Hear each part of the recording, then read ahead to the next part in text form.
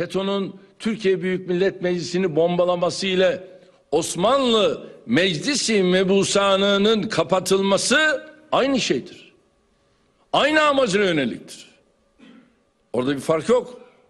Her ikisi de milli iradenin tecelligahı olan bu kurumları işlemez hale getirerek ülkenin işgaline zemin hazırlama amacı gütmektedir. Cumhurbaşkanı Recep Tayyip Erdoğan FETÖ'nün Türkiye'ye ihanetini bu sözlerle özetledi. Cumhurbaşkanı mesajlarıyla cehalete, FETÖ'nün çarpık anlayışına dikkat çekti. Kur'an-ı Kerim'de bize defalarca ne emrediyor biliyor musunuz? Akletmez misiniz? Düşünmez misiniz? Hep bu uyarılar var. Buna karşılık onlar da ne diyor biliyor musunuz? Akletme, düşünme, sadece sana söyleneni yap. Bu cehaletin ne yazık ki havuzuna düşmek çok büyük tehlike getiriyor. Cumhurbaşkanı Recep Tayyip Erdoğan FETÖ'nün eğitime, bilime ve Türkiye'ye ihanet ettiğini hatırlattı. iyi eğitim almış. Fiyakalı okullardan mezun olmuş olabilirler.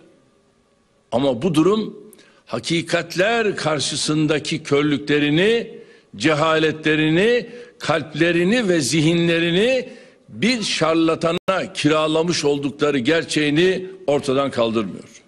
Ne olduklarını, kim olduklarını unutarak her biri sadece sahiplerinin emrettiğini yapan birer mankurta dönmüşlerdir.